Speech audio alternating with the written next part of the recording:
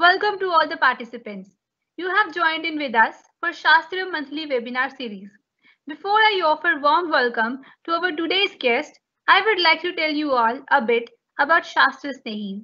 Shasthra Snehi is a platform, a community of science enthusiasts where people from various backgrounds and parts of the country come together with the sole purpose, that is, to make science enthralling for all. Now, my dear friends, with great pleasure, I would like to welcome our today's speaker, Dr. Hiyaa Ghosh. She has received her doctoral degree from the University of Pittsburgh School of Medicine, USA. She later joined Columbia University Medical Center, New York for her postdoctoral studies, where she focused on the transcriptional regulation of immune cell development. After finishing her postdoctoral studies, she spent a brief tenure in neuroscience department at Albert Einstein College of Medicine, New York. There, her work focused on two diverse areas of research. Under Professor Jean Hébert, she researched on cortical neuron regeneration and signaling pathways in adult neurogenesis. She is currently working as a faculty in NCBS National Center for Biological Sciences in Bangalore, which is a part of TIFR. Here she uses her interdisciplinary experience in molecular biology, immunology, and neuroscience to understand some fundamental cellular processes in the adult brain from the morphological and neuroimmune perspective. Her lab is interested in understanding the genetic control of cellular processes. This underlie normal brain function using mouse as a model system. Her group investigates molecular regulation of neuronal, glial, and stem cells of the adult mammalian brain. Her studies contributed significantly to the understanding of plasmacytoid dendritic cell development and maintenance. During her postdoctoral studies, she was awarded the prestigious Scholar Award from the American Society of Hematology for her investigation in PDC biology. And my dear friends, she is also a Ramanujan Fellow. We are thrilled to have you, ma'am, with us today. Without further ado, let me hand over to Dr. Hiyaa Ghosh for today's session. Thank you, Asta. Is the audio, it's echoing for me. Is it all right? For everyone? No, it's fine, ma'am. All right. So thank you so much for inviting me for this webinar series. And I'm thrilled uh, to know that this is mainly organized by students and uh, and we get a chance to discuss some biology, especially about the brain and the stem cells. So without further delay, let me take you to my slides. All right, so um, as you guys know, today we are going to talk about neural stem cells and the process of neurogenesis. And so to begin with, if I told you that running or physical exercise, aerobic exercise, um, that pumps up your heart rate, makes you sweat, actually has benefits to improve cognition, that is to do with learning and memory. It also has something to do with improving your mood, that is to do with the emotional function of the brain. And in fact, it also helps protect your brain cells in the long run. And all of this has something to do with new neurons that are generated by stem cells that reside in the brain, in the adult brain, and make neurons throughout the lifespan. And conversely, studies also show that situations that are more deprivation, like, for example, social isolation or sedentary lifestyle, where you are not doing much physical activity and mostly by yourself, that can actually slow down your cognition that can also cause anxiety and depression and make your brain cells more vulnerable to diseases with aging such as neurodegeneration. And all of this. Hello, ma'am. Uh, ma'am, yes? uh, can you uh, stop sharing and screen uh, that one more time?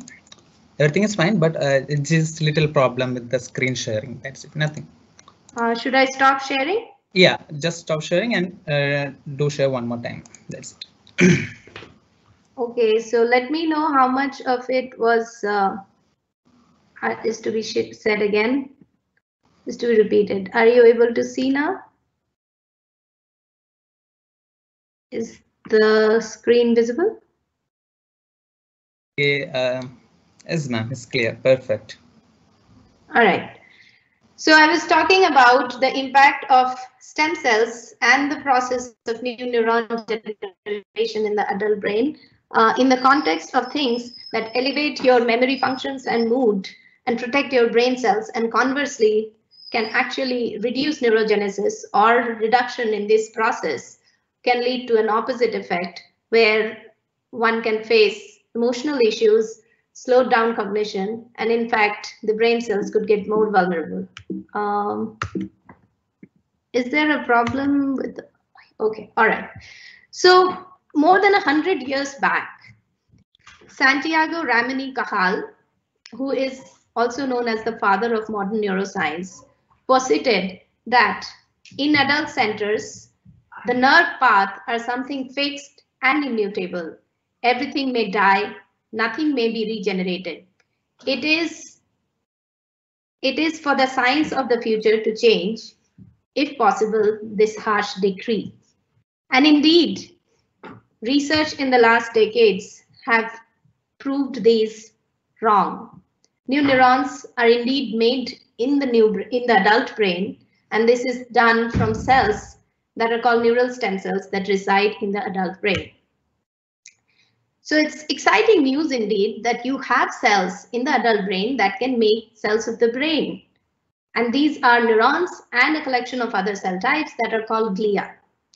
So does that mean that the solution of neurodegeneration will finally be resolved because you have cells that can make new neurons? Or is there physiological function of these stem cells and these newborn neurons in the healthy brain? And after all, is that all good news? So to understand this, we'll discuss today a little bit more about the nature of the stem cells and the process of adult neurogenesis. The first indications that new neurons could be found in adult brain came about six decades back through the work of Joseph Altman. So in 1962, what he was intending to do in his experiment was to study glial proliferation. Now, unlike neurons, glia, the other cell types, which consist of astrocytes and oligodendrocytes, astrocytes in specific were known to undergo proliferation and make many more of them in response to injury, to respond to injury. And in order to study this process, uh, what Altman did was create a lesion in the retinogeniculate center of the brain, which is known as the relay center for visual cortex. So the neurons of the retinogeniculate center are the one that receive inputs from the retina and then relate it, relate to the other parts of the brain, the visual cortex, allowing us to encode for what we are seeing. And in this process, in the process of uh, while doing this lesion in the retinal retinogeniculate area, he also infused something else. He infused precursors of DNA. Now, most of us know that DNA is made up of oligonucleotide bases of four types, A, T, G, C, and T stands for thymidine. And this is the nucleotide, the DNA precursor that was infused in that intracranial lesion process. And this nucleotide was further marked through um, further labeled, radio labelly, um, radio label so that it could be visualized later in the slices through autoradiography in brain slices. And after doing this experiment, he waited for several days and then took the brain slices to see what all types of cells incorporated this radionucleotide. Now, the, the expectations from this labeling process is that since you are infusing a DNA precursor, any cell that will divide would have to make DNA and in the process of DNA synthesis, it will incorporate this radio-labeled nucleotide, which will then mark the cells to be one of the new cells that came upon after the infusion was put in. And therefore, any cell that would have a radio label would have to be a newborn cell in the brain. And when he was looking for these cells, many days later after the infusion, he found that several of these cells were actually not glial cells, but in fact, they were neurons. So this was very striking and he quickly published the short letter showing that new neurons seem to be there in adult brain. But this was highly controversial, but he went on with his studies and performed, repeated this experiment in absence of a lesion just by infusing the radiolabeled nucleotide, this time systematically in the body instead of in the brain uh, through intraperitoneal injection, and then looked for the presence of this nucleotide containing new cell in the brain. And he saw that in the hippocampus specifically of the rodent brain, he could find a lot of cells that did not look like glia but looked like neuron in the dentate gyrus area of the hippocampus. At the time when this uh, studies were published, it was highly controversial because uh, because of the long-standing notion that no new neurons are ever born after birth. But decades of research during that time ultimately led to detection of new neurons even in the adult human hippocampus. And this was uh, work done about two decades or more later in Fred Gage's lab, where they looked at post-mortem tissue from cancer patients.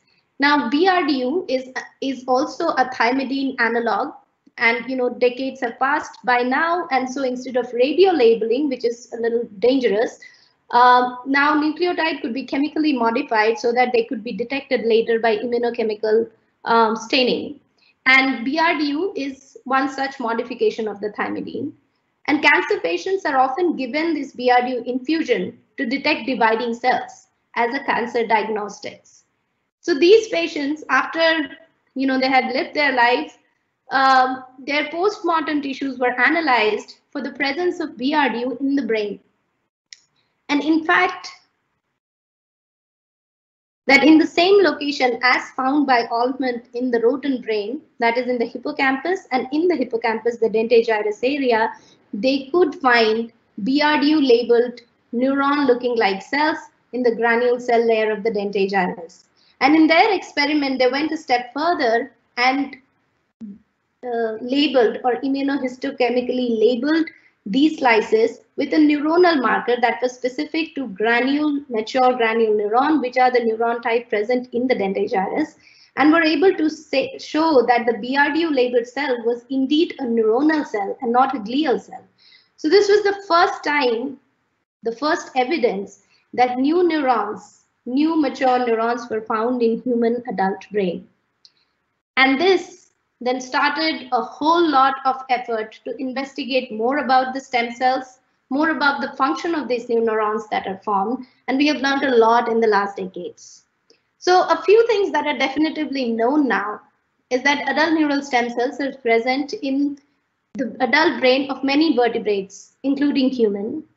However, these stem cells are not everywhere in the brain. They are not in all locations of the brain. They are located in very restricted locations um, and to be specific, they are found along the lateral ventricles of the ventricular uh, walls and in the hippocampus. And to give you an idea of these technical terms that I just um, said, if this is a mouse uh, and you're looking inside its brain, this is the snout and this is the back of the head, um, then you will see this hollow part. These are the lateral ventricles. And now if you make a cut from top to bottom, which is called dorsoventrally, then you can get a slice that looks like this. And this hollow area is the lateral ventricle on both sides of the hemisphere. And it is along the wall of this lateral ventricle do you find stem cells. And this niche is called the subventricular zone. The other area, the other particular part of the brain where neural stem cells reside is in the hippocampus. Now, if you go a little bit back caudally to the brain and make a slice there instead, you get a slice that looks like this and you can see the hippocamp hippocampal formation beautifully here. It looks like a butterfly. And inside this hippocampal formation, this structure is called the dentate gyrus. And the very thin first two layers of these cells, this is a pack of cell layers, is the subgranular zone where stem cells reside in the hippocampus. So pretty much two specific places in the adult brain. The other thing that is known now is that Although these are stem cells capable of making neurons and glia, they are in fact restricted for the fate of the cells that they can make. For example, in rodents, the only new, only new type of neurons that are made are the interneurons of the olfactory bulb that has to do with the olfaction. and the granule neurons of the hippocampus that has to do with hippocampus function. And consistently in humans also, the new neurons that are born are of specific types, that is the granule neuron in hippocampus, striatal interneuron, and of late, very recently, olfactory neurons have also been formed, found to be made in the adult human brain. And finally, but the most exciting part of understanding the process or finding out more about stem cells has been the realization that the stem cells residing deep inside the brain actually talk to the environment. How much neurons can they make or if or at all they will make a neuron or a glia can actually be dictated through their experiences. An enriched environment enhances adult neurogenesis, whereas a deprived environment decreases it. And consistently, it has also been shown that physical situations, physiological situations, which are thought to be uh, less than ideal, such as aging or inflammation, has also been shown to have an adverse effect on the process of adult neurogenesis. Now, before I go further uh, talking about the importance of adult neurogenesis or about stem cells, I think I'd like to give you a glimpse of how experimentally we gain understanding about the process and the cells. So in my previous slide, I showed you these cartoon. This is a cartoon which was a rostral section of the brain. And this is actual picture of a brain section uh, in which you can see the hippocampal formation, the cortex. And this, this picture can tell you the different regions of the brain, but it cannot tell you the cells and tell you the difference between tell a cell from being a glia or a neuron or a stem cell. But scientists are able to genetically manipulate uh, the system so that they can specifically look or perturb the cell type of their choice at the time of their choice too. And one such example would be the expression of green fluorescent protein in a cell specific manner.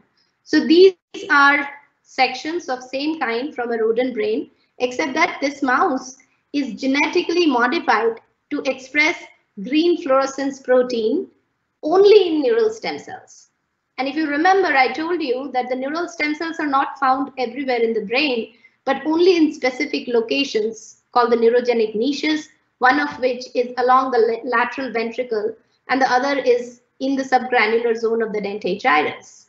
Now, if I say that my mouse now is supposed to express green fluorescent protein only in stem cells, then you would intuitively expect green color only in these regions that are the neurogenic niches. And that's what you see in these uh, brain sections of a GFP, nestin GFP mouse, which shows neurogenic cells expressing green fluorescent protein along the wall of the lateral ventricle and in the hippocampus. So this is the lateral, the posterior ventricular wall showing neural stem cells. And this is the this is the dentate gyrus of the hippocampus, again showing sparse neural cell population, neural stem cell population. And if I now zoom into the dentate gyrus, you can perhaps see it better. The green cells are the only cells that are stem cells, whereas the blue cells, which are thickly packed in this blue um, halo around these green cells called the dentate gyrus, are the mature granule neurons. And I hope you can appreciate that the presence, one thing that first the neural stem cells are only present in the first two cell layers of the dentate gyrus, and they are relatively far few in numbers when compared to the total number of cells in the dentate gyrus. Now, through these kind of genetic, pharmacogenetic manipulations and cell molecular studies, we have learned a great deal about the process of neurogenesis, the various stages that a neural stem cell has to go through to become a neuron, a mature neuron in the adult brain. And this is a very simplistic cartoon of what goes on in hippocampal neurogenesis in the rodent brain. And uh, the first thing to show here is that the stem cell has a very characteristic morphology. It is also called a radial glia-like cell because it has a soma and a radial process that is shooting upwards without branching until the very end, which is where it has more branches. And this is a characteristic morphology of RGL, which is distinct from a mature neuron where branches start to shoot very proximal to the cell body. And now the stem cells of the adult brain actually are largely quiescent, meaning they live in a very inactivated state where they are just there, they're not making cells. Due to environmental stimulation or other reasons, any or many of these stem cells can get activated, making the activated radial glial cell, which then can undergo process of division, either symmetric division or asymmetric division. In symmetric division, a radial glial cell can divide into two cells, one of which could be an astrocyte and the other could be a self-renewed stem cell. And this is how they make sure that the population or the pool of stem cell kind of renews because you you saw in the last slide that the to begin with the number of stem cells are far few and very restricted in the region. So every time they proliferate or they divide, they try to make one of their own types so that the pool is maintained. The other type of division that can happen is, a symmetric division in which the radial glial cells divides and make two radial glial cells. But the more dominant possibility of a cell division of a radial glial cell or a neural stem cell is a asymmetric division that is destined for neurogenic program. So in this asymmetric division, of course, it makes one of its own type radial glial cell and the other cell that it pr produces is a neural progenitor. It's also called an intermediate proliferating progenitor because the function of this cell is to just divide and amplify itself to make many more of these cells. And these proliferating cells at some point decide to take the fate of a neuron, at which point they're called neuroblasts. And these neuroblasts then gain various, undergo various cell molecular processes to, to the path of maturation to become a mature granule neuron that integrates into the circuit of the hippocampal circuit and contributes to hippocampal function. Now, one interesting thing about this process is that of the many cells, many immature neurons that are produced, only 25% or less actually make it to maturation and integration in the adult brain. So the question is, why do we have such a wasteful process? Why make so many neurons to begin with when 75% or more are destined to die? Well, research has shown that this specific stage, which is the immature neuron stage, has different electrophysiological properties.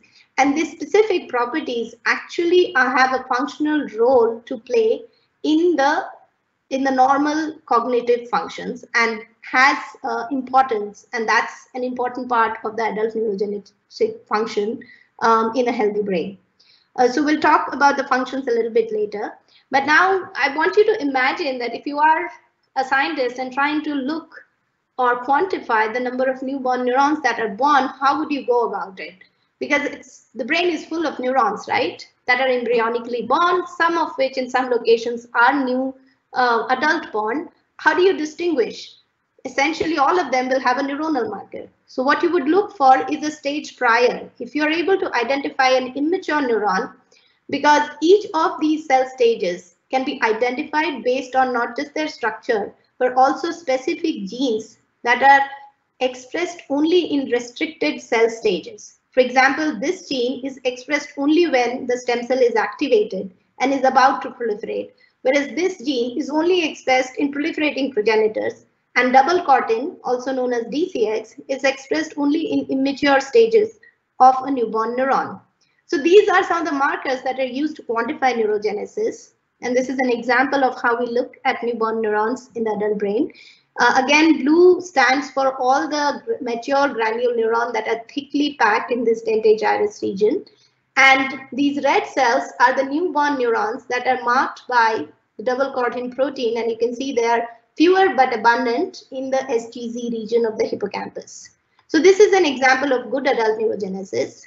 And conversely, if you can, if you manipulate or the organism has gone through physiological situation that reduces neurogenesis, then it will look something like this. Far fewer red cells. You can see the structure of the newborn neurons are also not good. So this would be an example of a poor adult neurogenesis, which can be qualitatively and quantitatively assessed. Now, good news, we know stem cells make new neurons in the adult brain, but why? Why are continually these new neurons made? What are their functions? Now, a lot of this, a lot of things we've learned initially was from songbirds. And uh, as many of you know, probably songbirds actually learn singing and sing their songs. I'd like you to hear a little bit of it.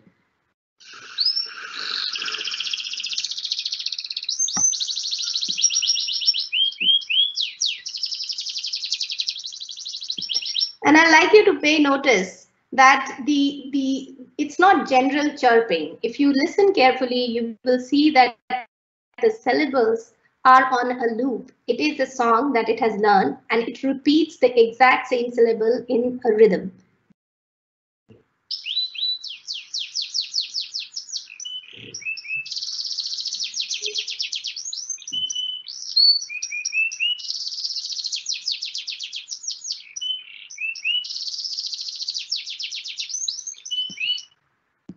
So I guess uh, I hope you can appreciate that there was a song being sung by the songbird. And what is known about songbirds is that they learn these songs before they attain sexual maturity, but use these songs to attract mates. And many of them continue to learn new songs during adulthood, which change from one year to the next.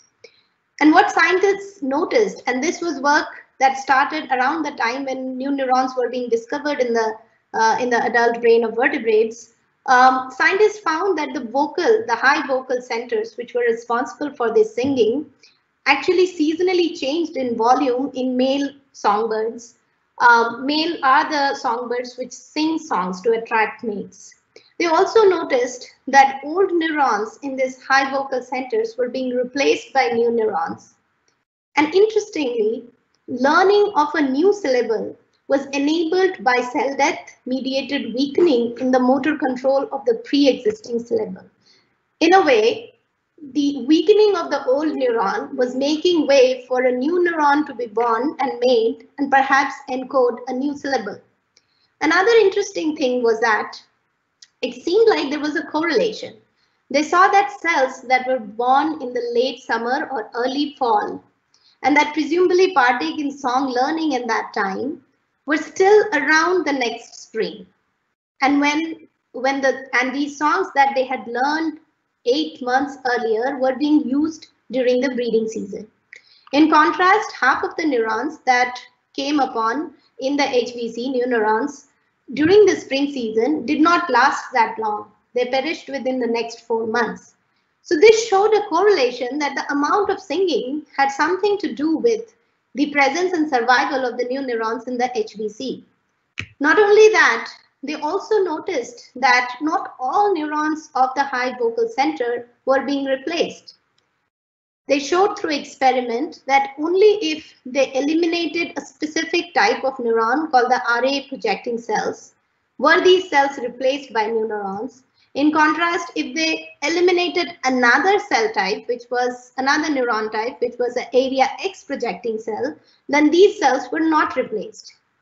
So these gave some very fun, this showed some very fundamental principles which correlated learning or neural action to the production of neurons and also iterated that this replacement or formation of new neurons is not generic but it is specialized and restricted. And these studies were then further confirmed in rodent models as well. In the 19, late 1990s, um, groups had performed experiments in rodent model where they show that enhanced learning can actually enhance neurogenesis. And for this, they studied hippocampal neurogenesis and um, they tested two different tasks one that was hippocampus dependent and one that was hippocampus independent. Now to give you an example, any or many tasks uh, can be encoded in our brain through different processes. For example, the task of navigation can be encoded or learned through a system called spatial navigation, which is dependent on hippocampal circuits However, navigation can also be learned through cue training, which is striatal dependent and not hippocampus dependent, not hippocampus dependent. So to give you a little bit more clarity of what I mean by spatial learning, spatial learning is a process in which the information of the environment is encoded and that information is used through for navigation through the space. So this is uh, an example of spatial learning where uh, this is a big water tank and a mouse is released in this water tank. Mouse, mice, they are natural swimmers, so no danger, but nonetheless, they don't like water. Even if you leave them and they can swim, they would try to find a place where they can take a rest and get out of the water. And in the same tank, you could have a platform that is hidden beneath the level of the water and you can make the water opaque so that it cannot really see where the hidden platform is. And in the same uh, room, one could put spatial cues like this square and a circle and a triangle at different parts of the wall. That is in the visual parameter of the mouse. And you can give it several trials in which it can make a note of the spatial cues. And based on that, it can have a geographical map for the location of this platform. So after several trials, if you leave this mouse any part, anywhere in the, in the swimming tank, it would be readily able to find the platform by using the spatial cues, which it has used to encode the location of this platform. So this form of navigation is called spatial learning. It's spatial learning based and is hippocampus dependent. But there is another way to do the same thing. If you had a tank and this platform, on this platform, you put a red flag. And through the trial session, the mouse would learn the association of this flag to the existence of this platform. And in this learning, it would not depend on any spatial cues. So it wouldn't matter whether you know this this box or anything else is there around it would just look for the red flag and would know that is where the platform is and this form of learning is called cue learning and it is hippocampus independent it depends on circuits the striatum now they in their experiment they had the mice perform or learn uh, spatial navigation using either uh, spatial cues or through cue training and they showed that when spatial navigation was done, that led to increased adult neurogenesis. Whereas if cue training was done, there was no effect on neurogenesis. So this showed that learning that used the hippocampal circuit activated the neurogenic niche of the hippocampus and resulted in increased neuron production in the adult brain. Another interesting um, observation that was made, um, which has a great impact on the field, is the fact that hippocampal neurogenesis actually responded to environment. And this was a very simple experiment done again in the late 90s, where mouse were either kept in normal housing cage, where there's bedding, food and water, and they're just there, versus they're kept in a cage where the lots of toys, a treadmill, a running wheel, and other stuff is around so that, and this is called an enriched environment for EE, where the mice can not only live, but also has play, um, and physical exercise, voluntary physical exercise. And they showed in this that mice that were in enriched environment had, had enhanced neurogenesis. And later on, few years later, it was also shown that this was true for enhancing neurogenesis in uh, even in adult and older mice, that if they're put in isolation, the number of newborn neurons reduces dramatically. Whereas if they're put in enriched environment, and access to voluntary exercise, the neurons dramatically increase.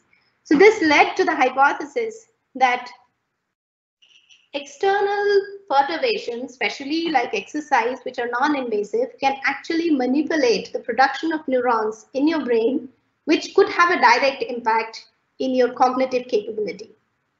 So new neurons are made in response to neural activity, we saw, and the stem cells in the brain respond to an organism's environment. So these two are fantastic. But the question is, what happens after the neurons are born? What are their functions? So again, studies in rodents have, uh, and uh, non-human primates as well, have uh, given us a lot of information about what these new neurons might be doing in the brain. And one of the things um, that they have been implicated in is uh, the ability to pattern separate. Now, the our ability to be able to differentiate between highly similar yet distinct objects or contexts depends on the hippocampal circuit and especially the dentate gyrus. And if you remember, this is the place of the brain, which is one of the neurogenic niches. And here you're seeing picture of two animals. One is a cat and one is a black panther sitting exactly in the same posture, looking very similar. But I'm very sure that most of you, in fact, all of you, must have been able to encode them as two different animals.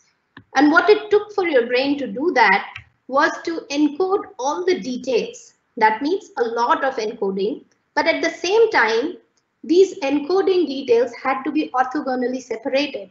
They could not be overlapped, meaning a same neuron could not be encoding two details that were very similar.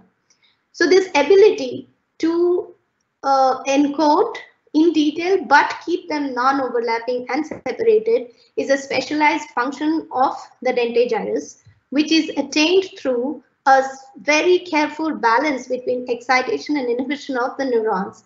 And this is the process which is influenced by the presence of the newborn neurons in their immature stage.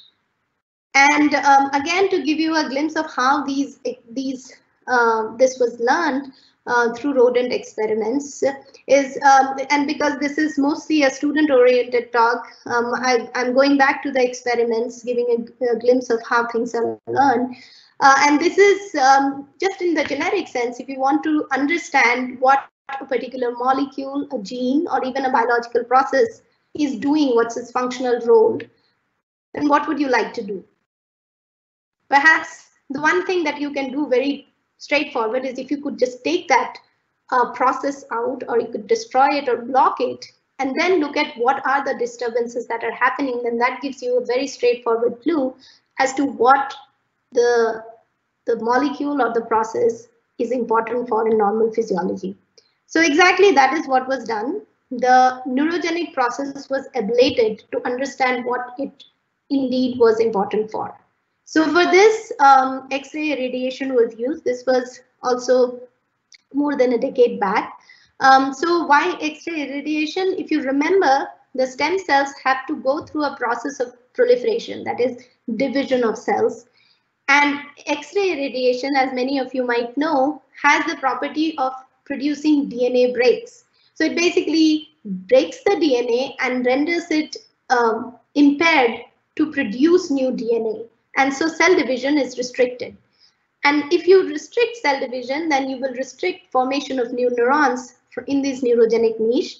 However, you want to do it in a very localized manner. So one could you know, cover the other parts of the brain and the body so that the X-ray irradiation happens very locally and focally on the hippocampus.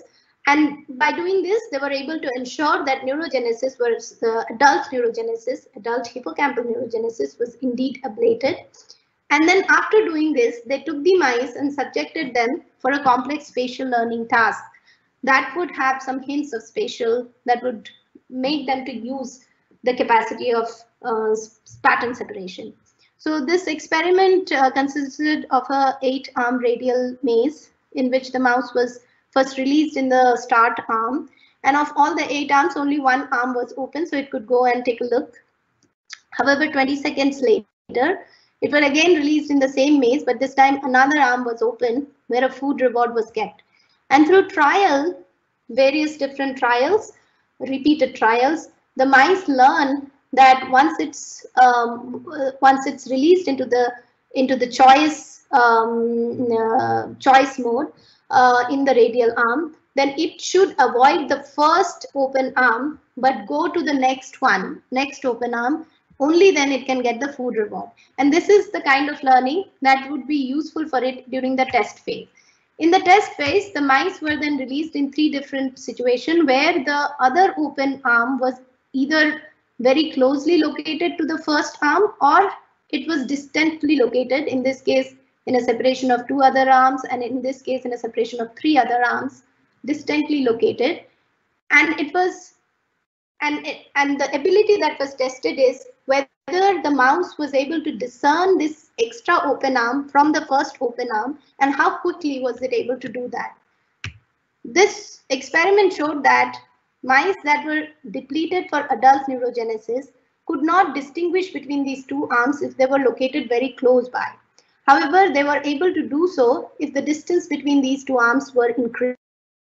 And in an in a corroborative experiment several years later, uh, it was also shown that if you could genetically manipulate to enhance adult neurogenesis, then you would help the pattern pattern separation ability of an organism. So what about memory that can be erased? Now, this was an interesting observation that is also made and um, that implicates adult neurogenesis. As, as you would um, probably by now remember that hippocampus is one of the place where neurogenic adult neurogenic niche exists and new neurons are born. So in another hippocampus dependent task, which is a contextual fear memory. So in this task, what is done is that the context in which a mouse may experience an adverse stimuli. So in this case, this is a box in which there are these grids. And once the mouse enters the box, after giving it some time to encode the context, that is recognize its environment, it's given a very mild foot shock through these grids. And that is the adverse stimuli. And as soon as that happens, its brain encodes or associates this context with the adverse stimuli. And once this association memory is formed, next time when the mouse is just brought in this context without any foot shock, it was able to recognize the context and get afraid by showing freezing response. And this freezing response is what can be quantified to know if it was able to first encode the memory and then recall it. Um, so this is called contextual fear conditioning. So firstly, what was tested was juvenile mice and adult mice were given this foot shock treatment and then brought into the context a day later, seven day later, two, two weeks later or a month later, and seen if they still remember the context and freeze because of their fear memory. What they saw was that while the adult mice very robustly remembered their fearful experience and showed a freezing, freezing response, the young mice did not do so. They had forgotten everything by two weeks and did not show any freezing response to the context. So this was interesting because it is already known that the juvenile brain, the postnatal developing brain, has far higher rate of postnatal neurogenesis compared to an adult brain. So this, what this could then suggest is that perhaps higher adult neurogenesis had something to do with the forgetting of uh, the context in the young mice. And this was very intriguing. So they tested this by taking the young, uh, the older mice, the adult mice, and this time after their fear, fear experience, fear context experience, one group was left just like that, whereas the other group was given running wheel. If you remember, voluntary exercise increases adult neurogenesis. So they were giving this running wheel so that their adult neurogenesis increases after they have encoded the fear context memory.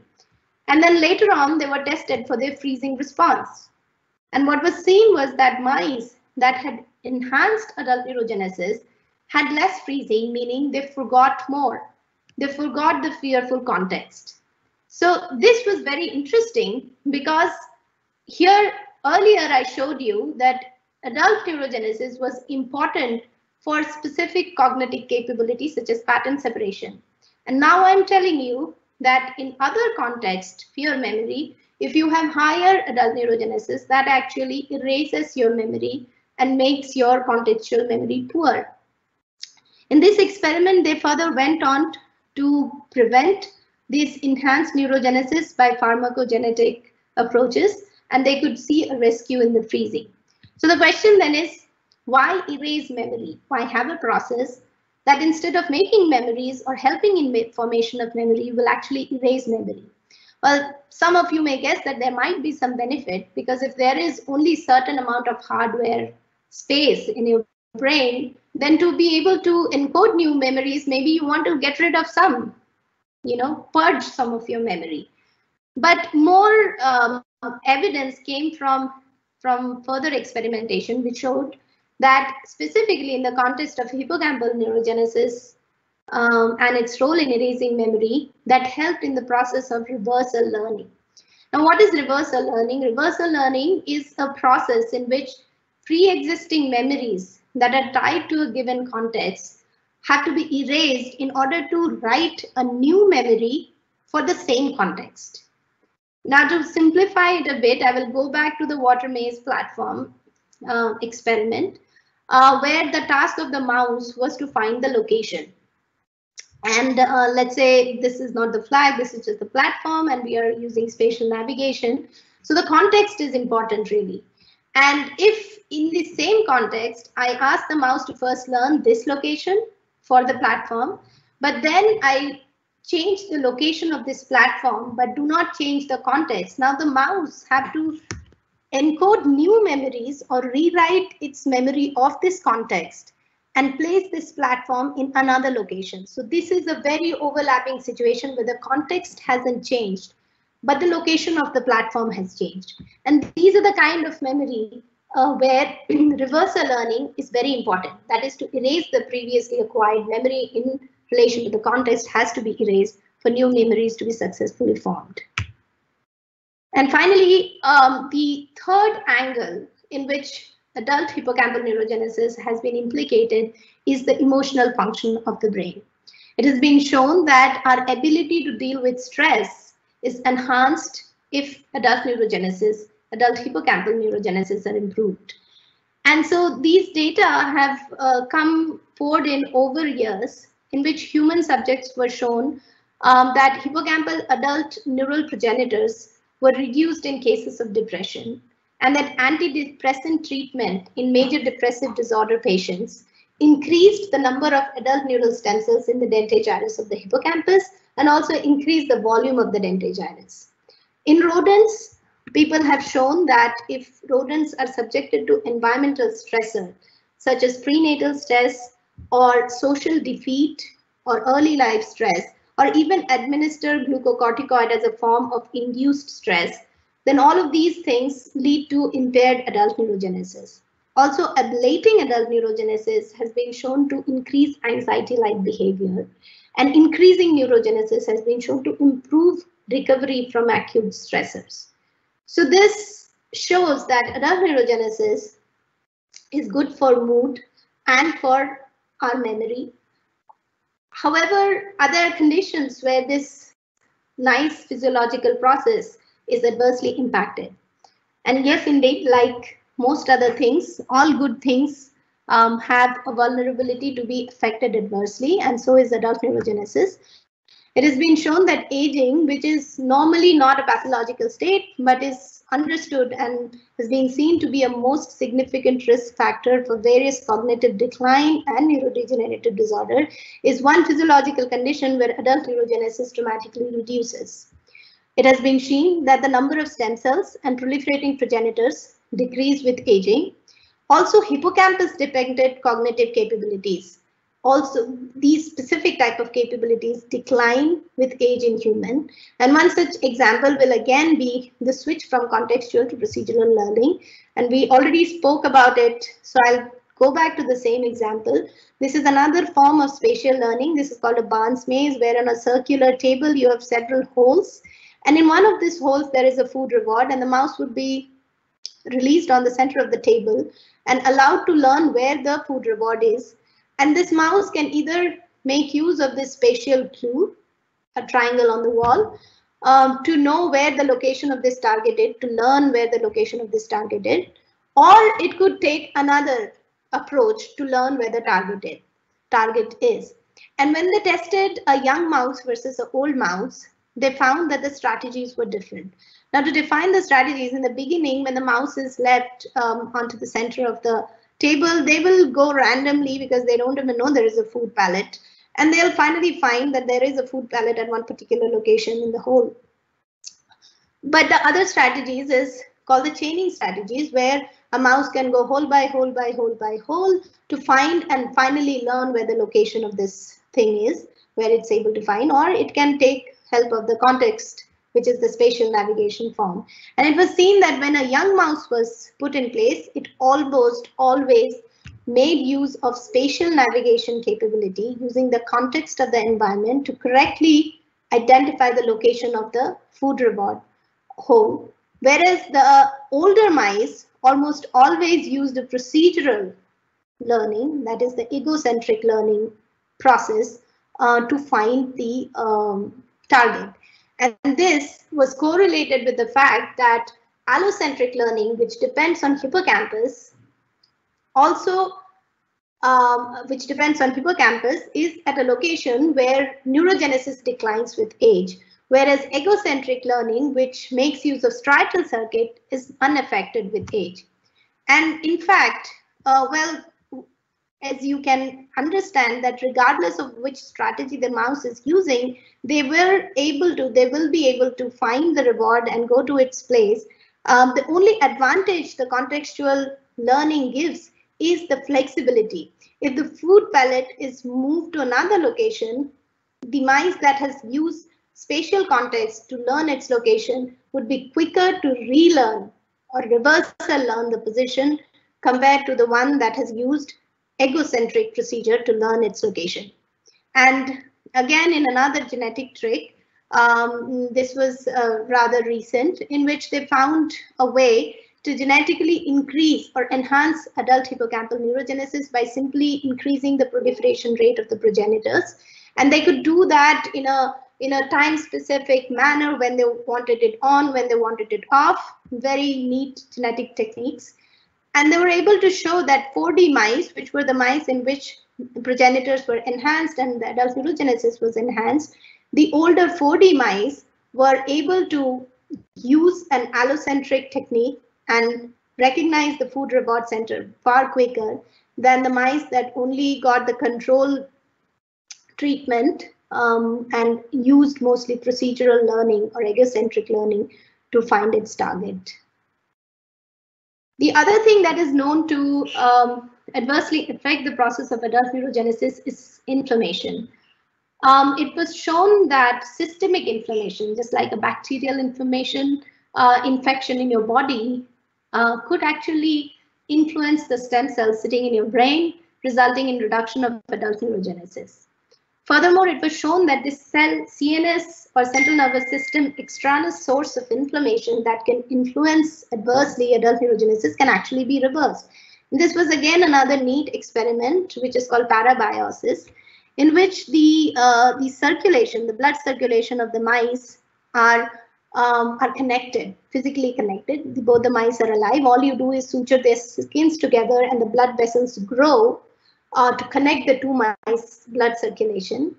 And by doing so, what they were able to achieve was to circulate the young blood into the older animal system and vice versa.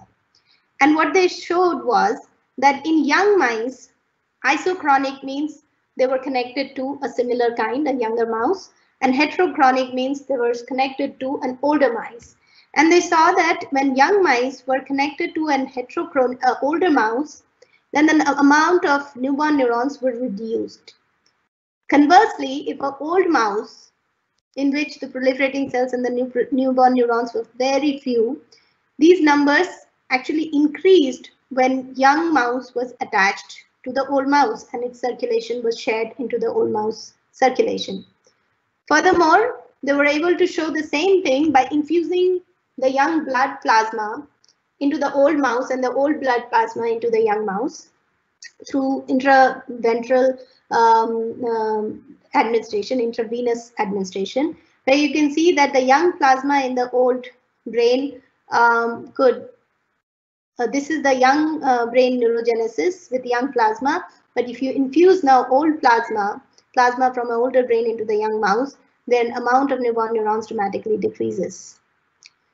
Now, so these, these are very important and interesting observation that even systemic information, we knew that uh, environment of the of the organism affects neural stem cells in the brain, residing in the brain. But now we also see that the systemic uh, uh, milieu of the circulation can actually influence stem cells in the brain. Now this is about the CNS extraneous influence. What if the inflammation source is inside the CNS? How is neurogenesis affected? And this would be contextual if you think about neurodegenerative disorders, which often come with neuroinflammation in the CNS. And very recently, uh, it was shown that uh, in the adult uh, human patients, uh, firstly, um, this was a detailed study, uh, much more thorough than all the previously existing uh, human studies um, in which it was first ascertained that new neurons or immature neurons can be in fact found in uh, human brains and uh, well up to the ninth decade of life. Uh, although the number of newborn neurons decline from anywhere between um, you know, after 40 years of age, they steadily decline, but you do see uh, plenty of newborn neurons in the adult brain going all the way up to the ninth decade. And furthermore, they showed that in patients that had various stages, patients of various stages of Alzheimer's disease, um, there was a reduction in newborn neurons.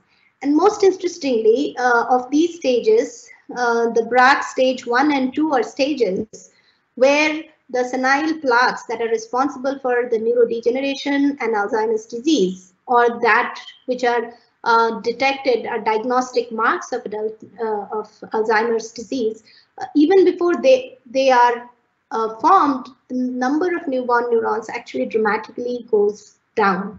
And they even compared um, these uh, adult uh, the Alzheimer's disease samples with age-matched normal postmortem brains, and they showed that even though the neurogenesis decreased with age in normal patients.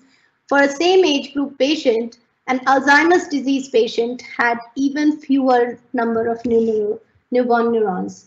And this is interesting if you think about the context. First is that in Alzheimer's disease, a lot of hippocampal dependent functions like memory and dementia is one of the um, uh, hallmark of uh, Alzheimer's disease. Many of the hippocampal dependent functions are deteriorated. And second, the hippocampus is one of the uh, prominent region where neurodegeneration is seen in Alzheimer's disease.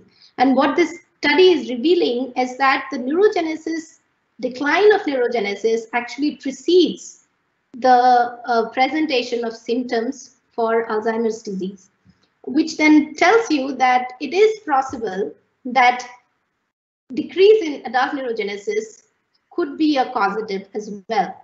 So in this context, one may want to think if the inflammation angle, which is known to reduce neurogenesis, could have a role to play in neurodegeneration as well. Now, what about regeneration? I'm sure that a lot of people who tuned into this talk tuned in because they were interested in neurodegeneration and a stem cell that can make neurons seems very lucrative for this whole topic of regeneration. So we have to talk about it a little bit.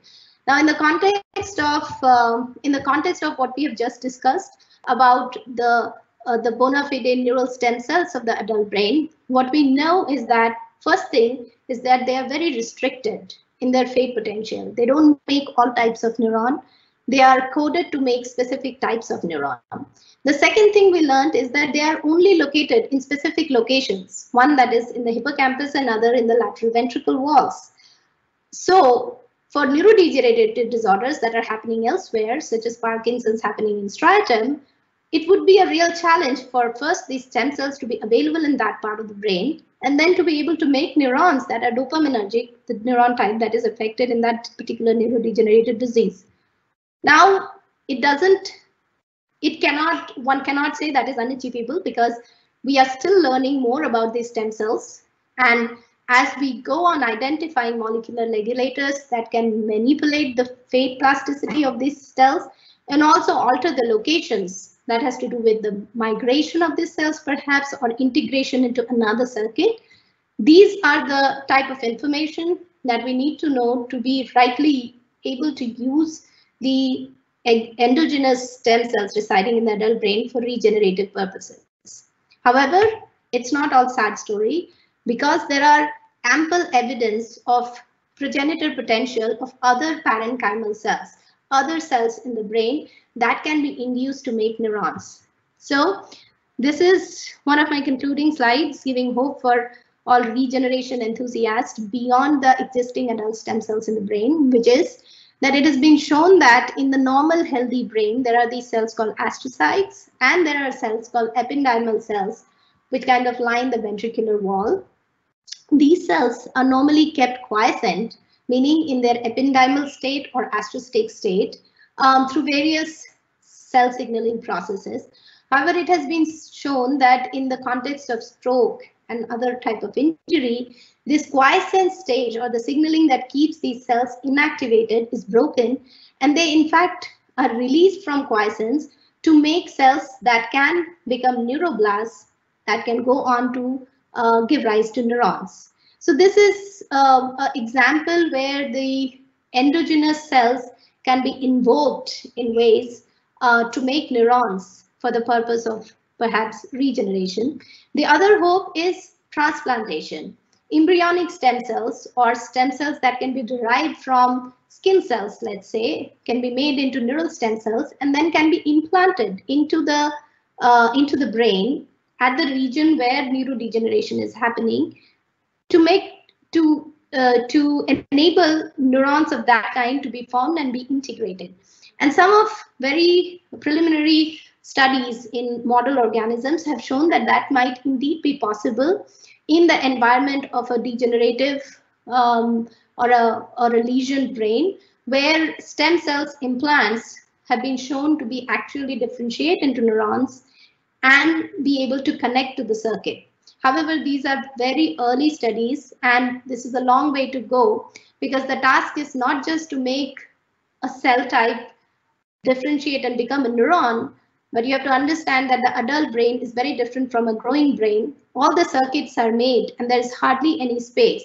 And if you make a new neuron, it's not just about making the cell, but it is more about that cell being able to make synaptic connections to the right circuits and the right cells to be able to impart its function. So this is a complicated process and the journey has begun, but it seems very optimistic, be it for implanted or spontaneous invoke, uh, invoked neurogenesis uh, in the context of neurogenesis. However, going back to the, the bona fide adult neural stem cells, uh, the bare uh, fact that these stem cells make these specialized neurons which have very specific function that enhance our capability of cognition and emotional resilience is a very exciting news. And to top that, the fact that these um, actually respond to the environment makes them a very um, a, a good target for therapeutic use um, because non-invasive procedures can actually um, make an impact in mood and memory disorders. Uh, and also through transplantation and regeneration goal, if we understand more about the character of the stem cell and the regulators, how they can be instructed to become one or the other, how are the environmental cues mediated to these cell types to behave a certain way, and what are the what is the full repertoire of its responses? Does it only make neuron and glial cells, or are there other detrimental, possibly detrimental uh, potential of these stem cells? the holistic information about these cell type would lead us to better usage of uh, their therapeutic promise. So with this, I think I'll conclude my talk. Thank you all for uh, listening in. This is uh, my research group um, at NCBS. And if any of you are interested in neuroscience, um, feel free to connect and join us. Thank you, ma'am. Thank you for such a wonderful talk, ma'am and we are getting so many questions even from uh, the YouTube and also some people are texting me personally from the WhatsApp webinar groups. Sure. So, okay, the first question I got is uh, from uh, Suad Kadim Khan, and mm -hmm. she mm-hmm. want to know, do a growing child or an adult have a large number of NSC? Okay, so yeah, so like I said, uh, when we were talking about the juvenile mice experiment, right? The growing child has far more number of neural stem cells and neural proliferating cells uh, compared to even a teenager. Okay, ma'am. Uh, and uh, other question, she also asked another question, but that is, what are the ethical issues associated with NSC or similar to embryonic stem cells? Do they possess any ethical issues similarly? Well, the ethical issues are most um, most uh, consequential when you're talking about research in human or human cells. A lot of these studies are done in rodents uh, where you take animal ethical clearance. You have to get that as well.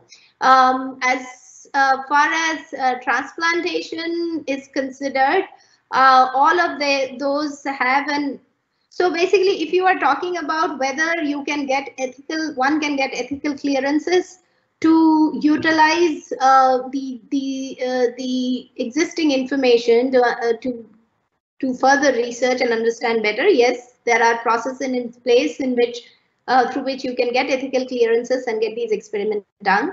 But if you're talking about ethical uh, issues related to making a monster, then that's a uh, that's a different question. And here we are talking only about a restrictive potential um, of, uh, say, embryonic stem cell, and that is to make a certain type of neuron, not an organism, right? So it's it's it's slightly different than making or cloning um, uh, an organism altogether. Okay, ma'am. And another question. Uh, this is this one I was actually waiting for. actually, we got a few many questions the similar way. Um, many times uh, we might have heard that we use only 10 percentage of our brain. Is that true? What does that even mean in the first place? Yeah, I like the second part of the question. What does it even mean in the first place, right? Um, I think if you are to talk at a very, you know, cell molecular anatomical level, then what it probably means is that you know that neurons are very complicated in structure, right? A cell has many projections shooting out, and each of these projection, makes thousands of connections, synapses, to another cell, another neuron, and even to glia, right? Uh, now, a lot of these uh, connections are physically there, but they are not functionally there. They're not functionally activated. One thing that is known about neurons is that until a signal is processed through them and processed enough number of time, the connections are not functionally realized. They are not functionally activated. So when when people say that if you do diverse amount of things the more you engage your brain the more active it would be it actually is real because the more you're engaging the more signals are passing through your neurons and the more signals the pass uh, and more circuits that it is engaging, more synaptic connections are becoming functional, right? And that is how you could possibly activate more percentage of your neural circuits than there are physically. Okay, ma'am. The previous question was from Vivek, and this question is from Abin Steve Matthew. Is asking, is mind a real thing? Then what is meant by a subconscious mind?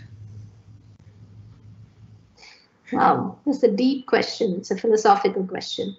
Um, well, subconscious mind, very technically, subconscious mind is when you're not in your conscious, maybe when you're in deep sleep. And there are a lot of things happening in the brain when you're in the deep sleep. And a lot of it has to do with how your cognitive processes, your memories and your cognitive abilities develop. So this is a well-studied subject uh, in which people are trying to understand when we are not conscious, meaning so conscious could be that you're totally knocked off, right? You don't even, you know, cannot even feel anything, or it could mean that you are in sleep, in deep sleep, but you can be awakened. Uh, in either of these stages, it's not that the brain shuts down. It's not that the neural circuits, all of them kind of go to rest. That's not what happens. Actually, that is a very active process of the brain where consolidation of memory happens that allows us better cognition when we are conscious. Um, so this is this would be one way to uh, say what is a subconscious brain is. Um, thinking about mind, um, you know, I'm a neuroscientist, so probably it's a wrong question for me. I definitely think that uh, the mind is real and it consists of uh, the anatomy and the neurochemical uh, reactions that are going on inside our brain. Okay, ma'am. Uh, and the other question is from Pranav Raj. Ma'am, is that habit cycle connected with the neurons? If connected, what happens if we stop that habit? Habit, habit. Yeah, cycle. yeah, yeah, ma'am. Okay. So habits are actually, uh, they are a product of your memory, your learning and your memory. And then something to do with a little bit of a reward cycle, perhaps. And it definitely is a process. Anything that is neural in nature, that is instructed by neurons, can be trained and retrained. So if you are trying to um, ask whether habits can be changed, yes, they can be um, uh, changed. It you know by more or more rigorous or less rigorous processes, but given that it is a process that is governed by neural functions, um, any cellular functions can be actually trained um, as so far as neuronal training is concerned. Yes. Okay, ma'am. Uh, the other question uh, is the first question I got uh, in this webinar, and the similar question is also there in the YouTube. Okay, ma'am. I think all of them want to uh, grow a new brain and want to replace their brain with that. Can we grow a new brain? Oops. If possible, can we make the duplicate of our brain and replace the current brain by transplantation? And another question, and another question, the similar question I found in YouTube is like. Um, what uh, ma'am how far we are from creating an artificial functioning human brain? Do you think it is possible in near future? By fatima k. Near future? No maybe not. But in the future nothing is impossible right? What i can tell you the current state of affair is that there are things called organoids and that are being uh, realized for not just the brain, but for any other organ in the brain. What they are trying to do is create a three dimensional structure in which stem cells could be put in and allowed given growth factors to differentiate into the cell types of that organ. For example, the brain consists of neurons, astrocytes, oligodendrocytes, ependymal cells, microglia, vasculature, all of that. It's a very lofty task, as you can imagine. Uh, you can take a cell and make it to become neuron, and then you can put it in a three-dimensional structure so it entangles and make a lot of uh, you know, more circuit looking like thing. That is one thing, but that's not brain because brain has to have all these other cell types along with the vasculature if you are to make an artificial brain. But the efforts are on and these are called organoids. Uh, maybe you can look up and read up more about brain organoids. Um, a, a, lot of success has happened in being able to grow not just neurons, but other supporting cells and vasculature um, in brain organoids. And uh, as we go about it, if not anything else, these will these are actually being grown and right now the the the the goal with it is to be able to create model for studying human brain and functions and disorders and so forth.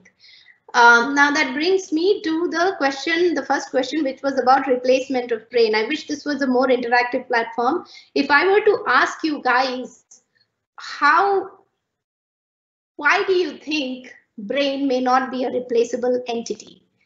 Um, one could argue that unlike other cells, the way brain works is through encoding and consolidation of information, right? And um, at this stage, um, and, and these things, the encoding and consolidation of these information happen through experiences. An organism hears something, sees something, smells something, feels something, and these are the information that are firing the neurons of a certain circuit in a certain way and creating or encoding those experiences in a certain way. Even if you create the cells, even if you make the physical connection, unless the same environmental situation is recreated so that the same exact firing is happening in exact similar way in the neural circuits, you cannot possibly replace the existing brain. Okay, thank you, ma'am. And we have three more, last three more questions, ma'am.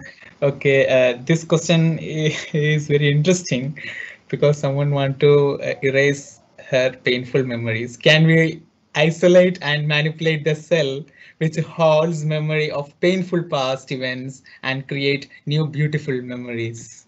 Wonderful, right? That would be such a wonderful thing to be able to do. The first thing is that erasing memory is totally possible. And I gave you an example of how hippocampal neurogenesis actually plays a role in erasing memory and that how that helps cognitively cognitively uh, an organism's uh, survival and uh, um, and acquisition of reversal memory.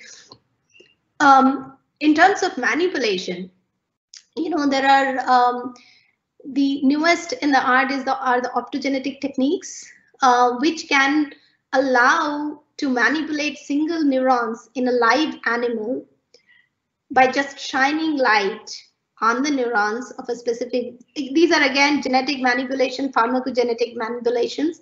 And um, through through these processes, I mean, as as you as I mean, if you're talking about humans, then they, these have to you know go through various processes of development and um, you know you know that neural circuits are can be stimulated in human and is done in very many neuro, neurodegenerative disorders so so long as you can manipulate neurons and you keep finding out which circuit and how a particular experience is encoded there is a possibility that you can manipulate then that particular neuron in that particular circuit to modulate the memory that has been formed already so yes the possibility is there Okay, ma'am. The second last question is from Adarsha HA. And uh, his question is, ma'am, what do you think about R. Pen uh, Penrose um, orchestrated objective reduction hypothesis for the hard problems of consciousness? Or what is the most popular solution for the hard problem of consciousness? Whoa, I don't know what is the hard problem of consciousness. Can you define it?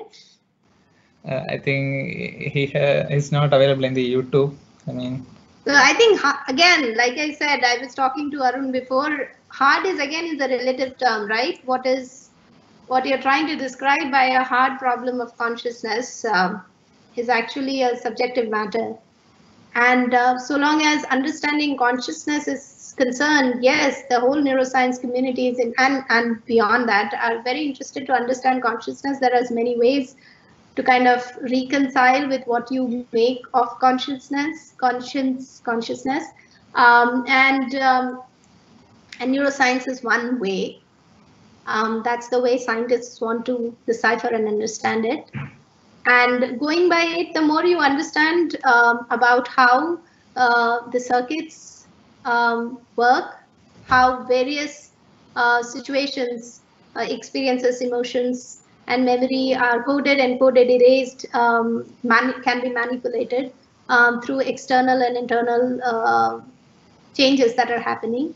The more you learn about how how these things work, and maybe those are the information that can provide you a little zoomed out picture to understand what consciousness is, um, and perhaps being able to understand if there is a problem with it at all okay, ma'am. Okay, ma'am. And the last question um, is, uh, human brain size has evolved to be bigger compared to the past. Is that an advantage to our intelligence? If so, why aren't animals like elephant and whales more intelligent than us, as they have larger brains than humans?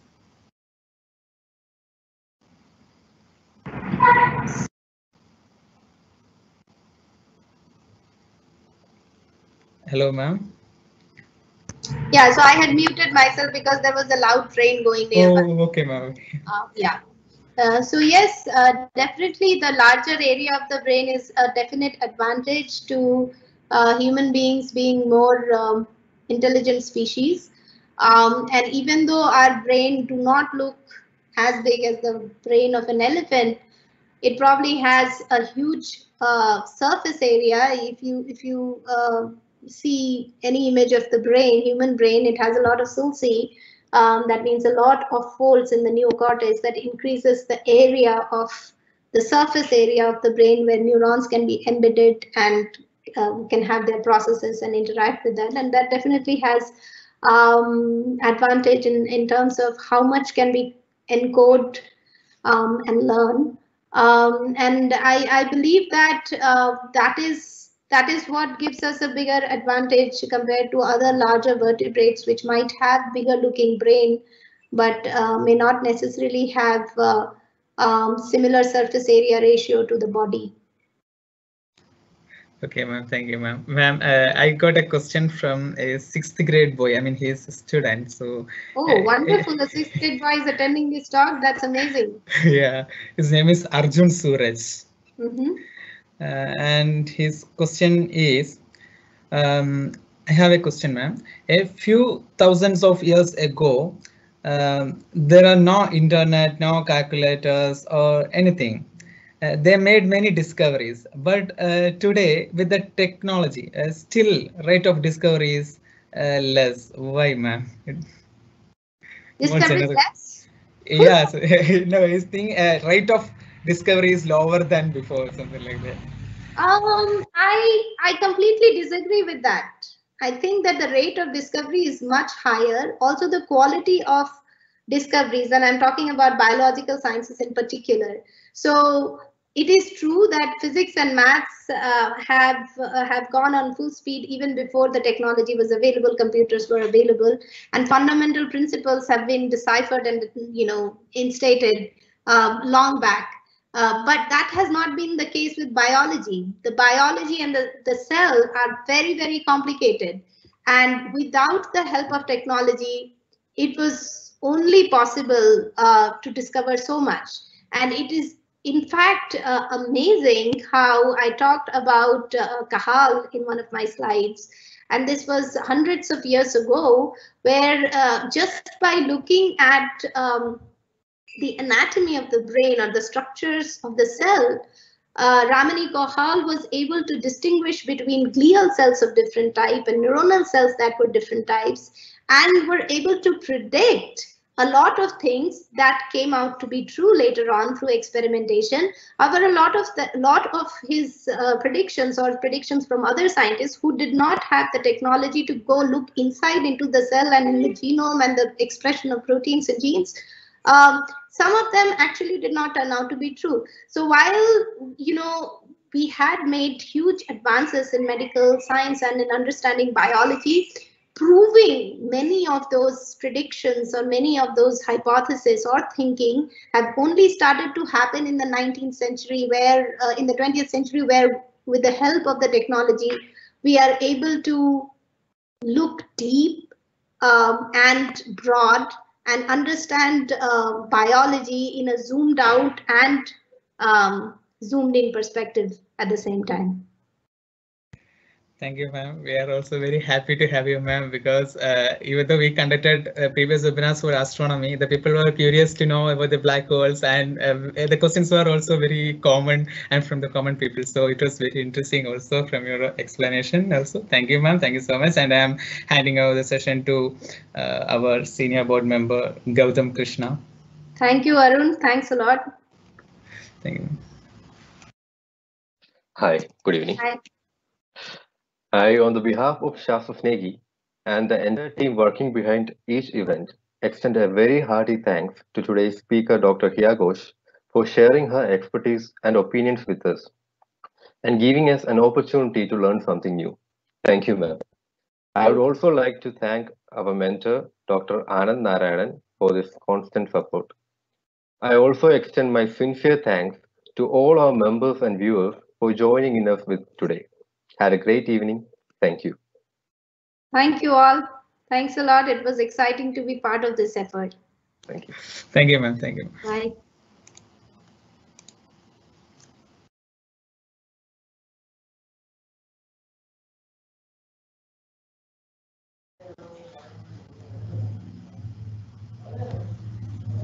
Stop.